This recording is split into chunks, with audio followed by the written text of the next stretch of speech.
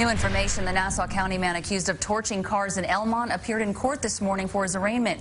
Juan Perez is charged with several counts of arson and criminal mischief. As CBS 2's Andrea Grymes reports, Perez got hit with a heavy bail. Juan, you have anything to say to the car owners? Accused arsonist Juan Perez stayed silent as he got onto a Nassau County police bus this morning to face a judge at district court.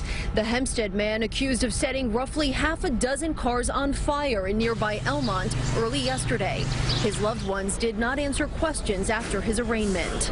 Do you know why he did it? No.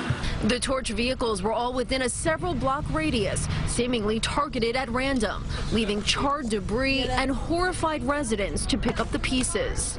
When I came out of the house, I saw the car, the trunk on fire. I grabbed the fire extinguisher. The fire department was just coming up Stewart Street.